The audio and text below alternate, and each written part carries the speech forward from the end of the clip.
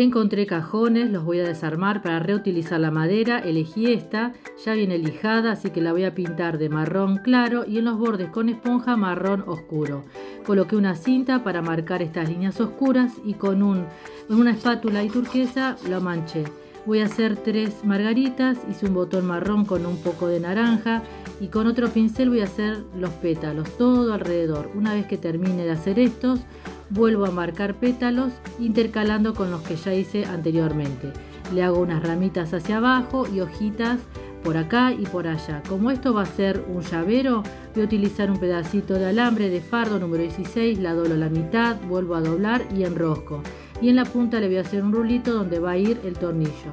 Yo hice dos ganchitos, así me quedo adelante, así me quedo atrás, le puse otro ganchito para colgar, barnicé todo con barniz brillante al agua y listo. Yo soy Gaby y estás en Sueños de G.